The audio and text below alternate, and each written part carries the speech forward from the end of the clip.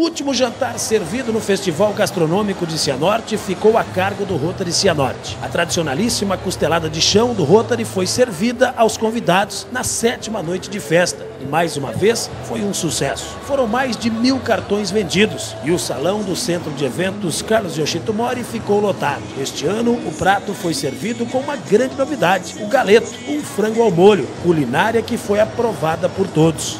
A população de Cianorte está atendendo ao nosso pedido e sabe que o que nós conseguimos aqui em arrecadar vai ser devolvido para a comunidade, para a sociedade. E nós estamos muito felizes porque a população está colaborando, está comparecendo em massa e isso prova que o povo de Cianorte tem um coração bondoso.